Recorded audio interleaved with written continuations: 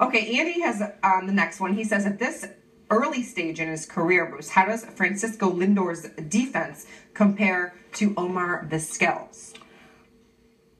I think it's too early. The, the embodiment of work of Omar Vizquel and Ozzie Smith was so incredible. And I, I, think there, and there's been some other tremendous defensive shortstops: Dave Concepcion, Mark Belanger, Don Kessinger, Bud Harrelson. Uh, it goes on and on. But those two have been in a class by themselves historically. Nobody comes close to those two. The only one that might would be Concepcion, but even he, uh, I mean, it's not because he wasn't great, it's because Smith and Omar were just so mm-hmm. extraordinary.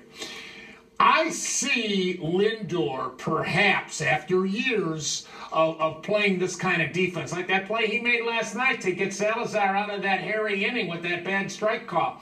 Uh, it, it, I see the potential with Lindor with uh, years to come mm-hmm. and maybe challenging and getting in that category. I just think yeah. he's such a great all around talent. He's so young. So, yeah, yes. very early stage in his yes. career to see how he can develop into that. Yeah. Um, uh, he's way ahead of both Omar and Ozzie Smith at this age offensively. Way ahead.